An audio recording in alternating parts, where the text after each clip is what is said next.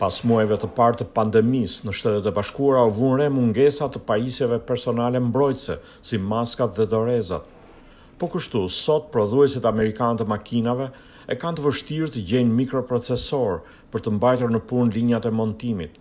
Këto janë ndër çështjet që Presidenti Joe Biden synon të zgjidhë me urdhërin e tij ekzekutiv për një rishikim nga qeveria të zinxhirëve globalë të furnizimit dhe problemeve me të cilat përballet vendi në furnizimin e industrive kryesore me materiale të tilla si bateritë e automjeteve elektrike, gjysëmpërçuesit apo mineralet e rëndësishme që përdoren në elektronikë dhe farmaceutikë.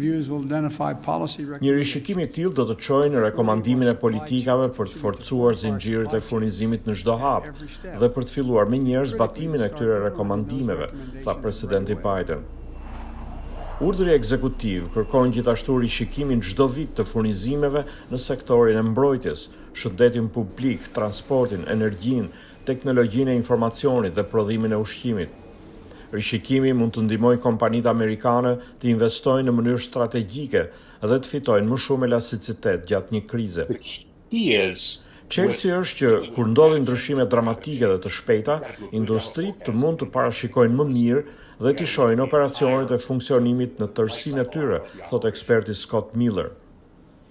Urdhri ekzekutiv nuk përmend ndonjë vend në veçanti, por Shtetet e Bashkuara varen sidomos nga Kina në shumë industri të rëndësishme dhe për disa minerale të rralla, të nevojshme për prodhime që shtrihen nga elektronika e konsumi tek pajisjet ushtarake. That is not a good spot to be in. Nuk është një situatë e favorshme, megjithatë të thuash se vëmendja është vetëm te Kina, kjo më duket dritëshkurtër. Mendoj se në fakt kjo politikë ka të bëjë me tablonë e gjerë të prodhimit industrial të Amerikës, pra nuk është vetëm Kina, thotë ekspertja Nada Sanders. Edhe administrata Trump bëri përpjekje për të zgjidhur problemin e zinxhirëve të furnizimit, kryesisht përmes uljes së taksave, për të inkurajuar firmat amerikane të prodhonin në vend, si dhe me anë të tarifave të importit. Strategjia e Presidentit Biden është e ndryshme, thotë Samira Fazili, zëvendësdrejtore e Këshillit Ekonomik Kombëtar pranë Shtëpisë së Bardhë. Përgjigja për këto dobësi nuk është gjithmonë tek rritja e prodhimit të brendshëm, tha ajo.